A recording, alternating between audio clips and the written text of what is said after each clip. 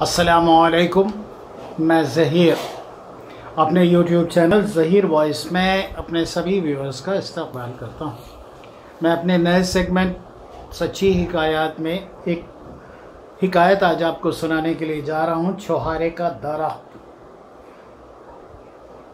حضور صلی اللہ علیہ وآلہ وسلم کے زمانے میں ایک شخص حضرت ابو دجانہ رضی اللہ تعالی عنہ کی عادت تھی۔ کہ وہ صبح نماز پڑھتے ہی فوراً گھر چلے جاتے تھے۔ ایک دن حضور صلی اللہ علیہ وآلہ وسلم نے دریافت فرمایا کہ ایسا کیوں کرتے ہو؟ تو انہوں نے بیان کیا کہ میرے پڑوسی کے گھر میں چوہارے کا ایک درخت ہے۔ رات کو اس کے چوہارے میرے سہن میں گرتے ہیں۔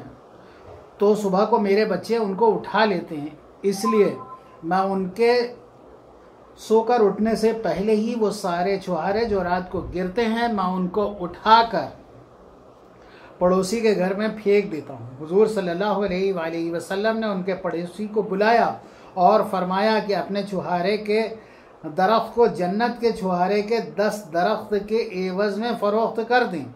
یہ سن کر صدیق اکبر رضی اللہ تعالی عنہ بولے، یا رسول اللہ، میرے اس درخت چوہارے کی فلاں جگہ پر ہے، میں وہ دس درخت اسے دیتا ہوں۔ جنت کے درخت آپ مجھے دے دیں۔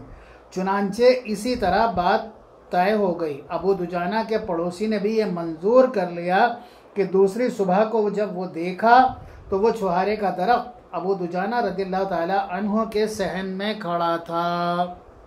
بحوالہ نزہت المجالس جلد ایک صفحہ نمبر تین سو ستاسی۔ سبق صحابہ کرام میں کمال درجے کا تقوی تھا۔ الحمدللہ۔